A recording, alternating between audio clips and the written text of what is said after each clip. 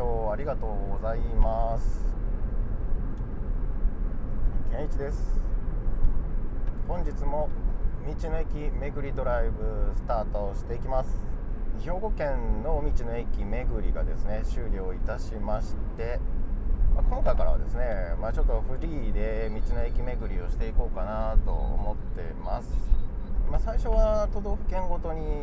道の駅を回っていってで一つずつの県を終わらせていくみたいな感じでやっていこうとは思ってたんですがまとまった休みを取ることができずほぼ1日しか休みがないっていう感じの中での道の駅巡りになりますのであんまり遠くにですね一気に行くことができないっていうところもありましてまあ、なるべく同じ都道府県の道の駅にはですね行ってみようとは思ってるんですが、まあ、それだけにこだわらずですねいろいろな道の駅を行きまして1年では終わらないかもしれないんですけど近畿圏内の道の駅をですね制覇していくっていうことをしていこうというところとですね兵庫県の最後のドライブシリーズの中でも喋ってたんですがどうしても行ってみたいという思う道の駅がですね福井県とかあと鳥取県ですね行きたいなっていうのがありましたのでちょっとそちらの方も交えてですね福井行き鳥取行きみたいな感じでちょっと道の駅を巡っていくっていうことをやっていこうと思います。で今日はですね早速福井県の方に行ってみようと思っております。福井県の道の駅ですね調べたところ19駅あります。結構県が広い割にはですね、まあ、道の駅の数はなんかめちゃくちゃ多いって感じではないんですけど福井県の北の方と南の方で結構離れてますしそれで道の駅がこう散らばってるって感じになるので、まあ、19駅一気にはちょっと無理という感じになりますし福井県にたどり着くまでがまあ大変ということもありまして間にボソボソと福井県を入れてですね福井が終わ福井を挟みつつ近場も回る。近場って言っても滋賀県とか京都とかになるとは思うんですけどそっちの方回っていくっていうこの2本柱で行こうと思います。今日はですね福井県の本当は越前の竹府市っていうところまでを目指そうと思ってたんですけどおそらく時間的に厳しいかなっていうのもありましてまあねもう福井県行こうと思ったら朝6時ぐらいには家出ないとダメなんですがおそらくですね今日も4駅回りたいなって思ってるんですけどそんな回らんでそんなにも回ることできないだろうなって思ってますので適当にですね道の駅回って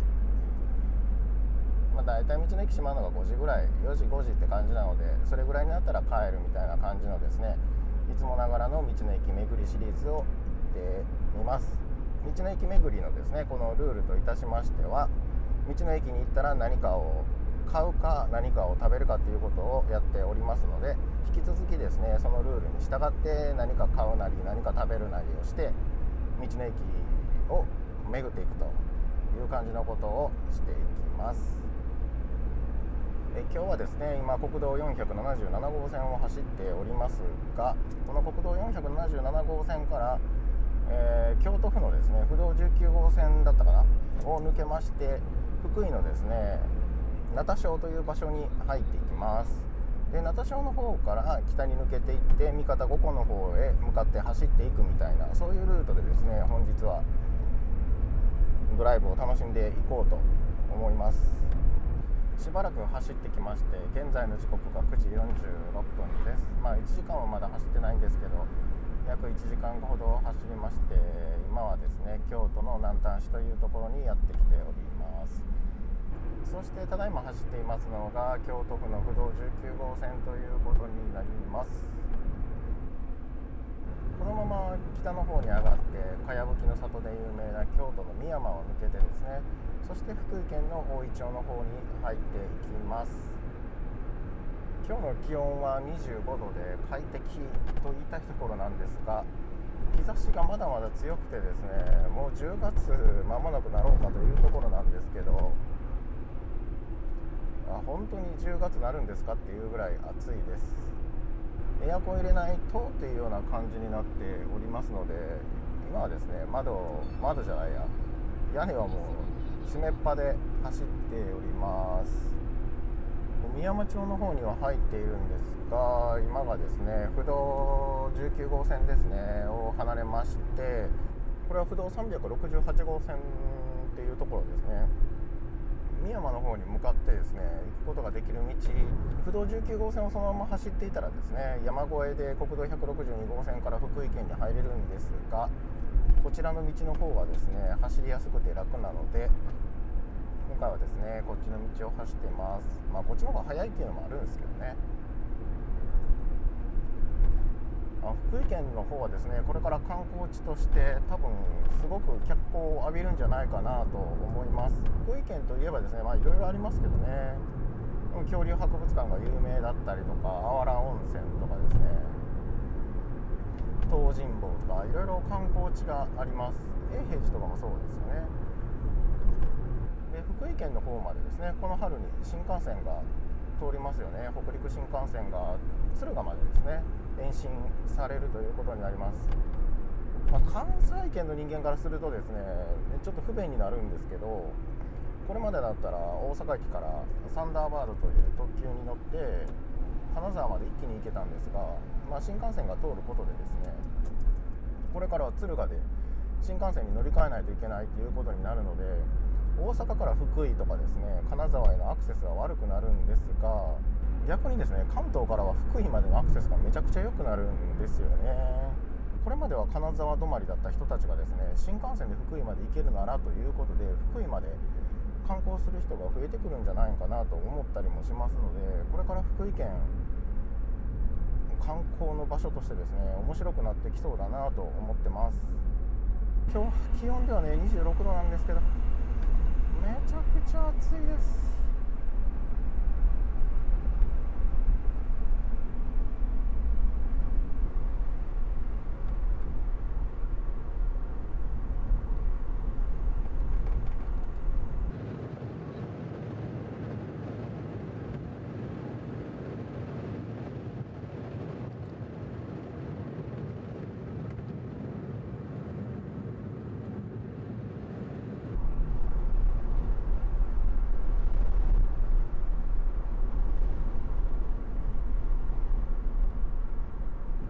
からが堀越峠ということになります。この峠を越えるとですね福井県に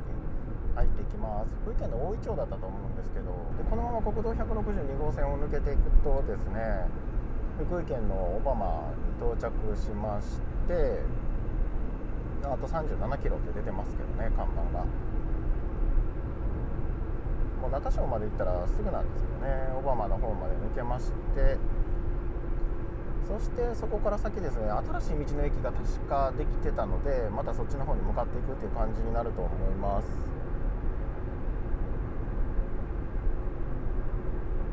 この堀越峠は結構走りやすい峠道なのでドライブコースとしてもなんかねちょうど楽しめる山道だなーって感じになると思います。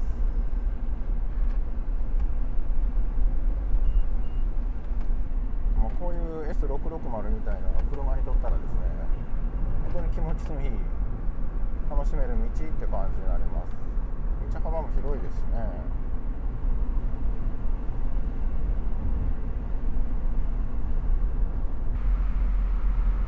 ここでですね福井県の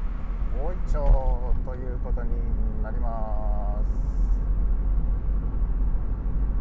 ここから福井県に入っていきます。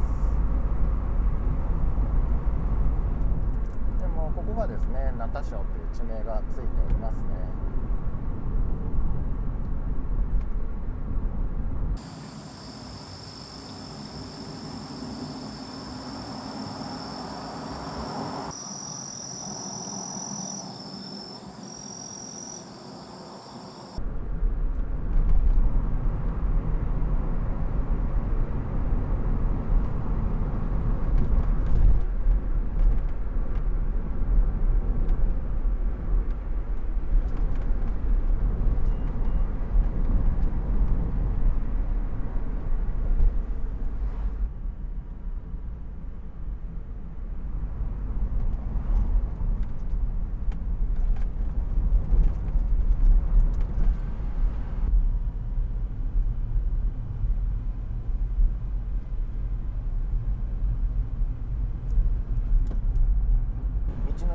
名田省まであと 600m というところです。国道162号線のにある道の駅ですね。時間は10時43分ということになりますのでなんかお昼ご飯を食べるというよりかはですねここでしか食べられないというジェラートがありますのでちょっとそちらの方をいただいていこうと思っております。道の駅名田省に到着現在福井県嶺南に高潮注意報が発表されています。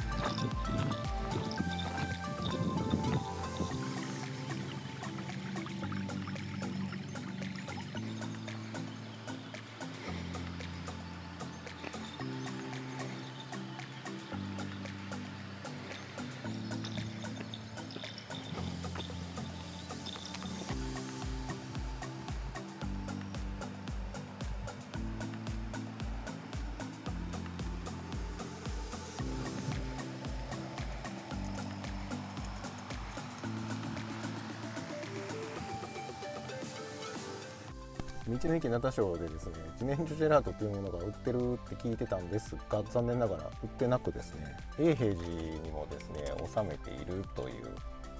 名田省漬けですね。こちらの方のあなた好みというやつとしば漬けを購入してきました。これをですね今すぐ食べるということはできませんのでまた後々ですね家に帰って感想なんかも言ってみようと思います。道の駅名田省で買ってきた名田省漬けです。これはあなた好みというやつでですね。醤油漬けきゅうり大根なす生姜いろんなものが入ってるような感じです。これ開けていってみましょう。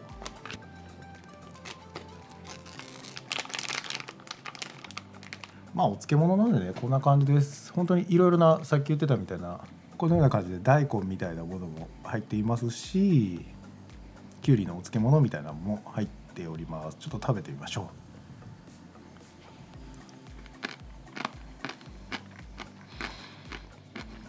う。うん。お漬物が好きだったらですね間違いなく美味しく食べれると思います、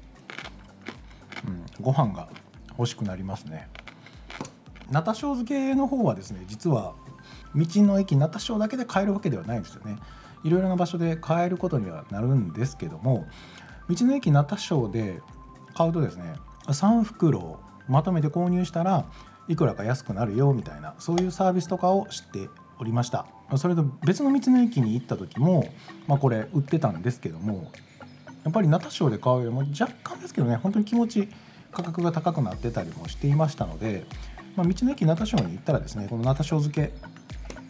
手に取ってみるのもいいんじゃないかなと思いました。では出発していきましょう。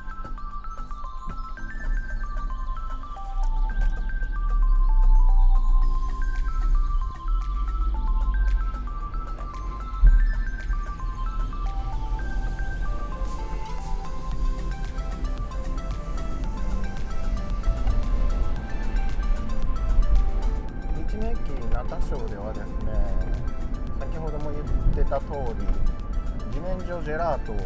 食べるつもりでいたんですけど販売されていなかったので諦めましてお漬物だけですね有名だったので買って行きました。でお腹の具合も微妙だったので私は自然薯そばが結構美味しいって聞いてたのでそば食べてもよかったんですけどね。ただ今日はねお蕎麦を食べようっていう気分ではなかったのでなんか最近道の駅に行くと蕎麦を食べるみたいなそんな感じになってたのでいやそうでもないか。まあ前回の道の駅稲川の時にですね蕎麦食べてるっていうのがあったのでちょっと蕎麦は避けまして次の道の駅行こうと思います。道の駅でそばとか食べると結構1000円超えてくるかなっていうのもあるんですが、